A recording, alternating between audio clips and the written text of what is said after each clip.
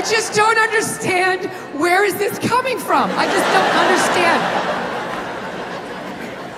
So, I gotta do it though. I gotta work on the temper. I'm gonna do it.